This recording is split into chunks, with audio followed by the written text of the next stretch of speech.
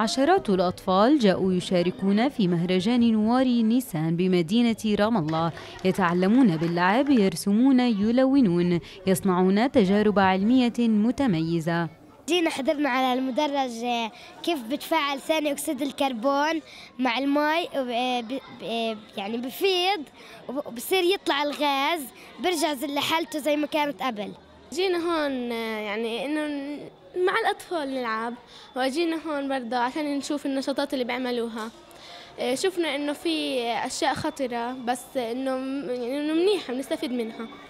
نوار نيسان الذي تنفذه بلدية رام الله للسنة الرابعة على التوالي.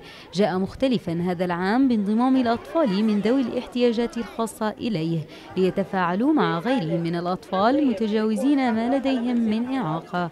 بيميزنا اليوم إذا ملاحظة آه، جبل النجمة والهلال عم بيعملوا لغة الإشارة لرواية القصة. فهذه دخلناها إنه كل الأطفال صاروا بحبوا هن يقولوا كيف هاي وين بنقدر نتعلمها. يعني صرنا سنتين برضه بنهدف انه ندخل كل الأطفال ذو احتياجات خاصة ندمجهم مع الأطفال مش بس يجوا هن يشاركوا السنة هن عاملين طاولة والمدارس عم تيجي على طاولتهم بتشارك معاهم.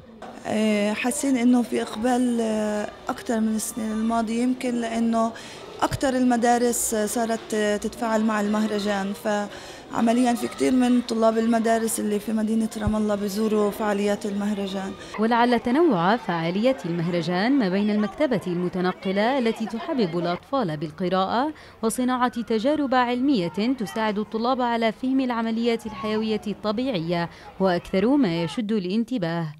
ونوار نيسان هاي السنة عن الحو... آه، الحواس الخمسة. فإحنا س... آه، إنه إحنا ركزنا هاي السنة عن عن حاسة اللمس.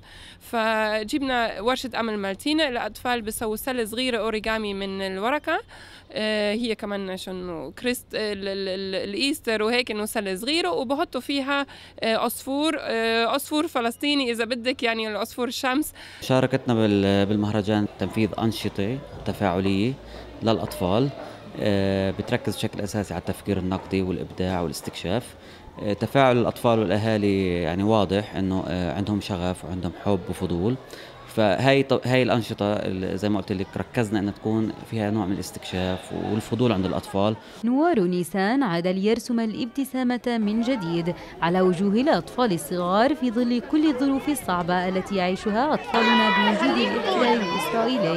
وفاء عاروري تلفزيون وطن رام الله.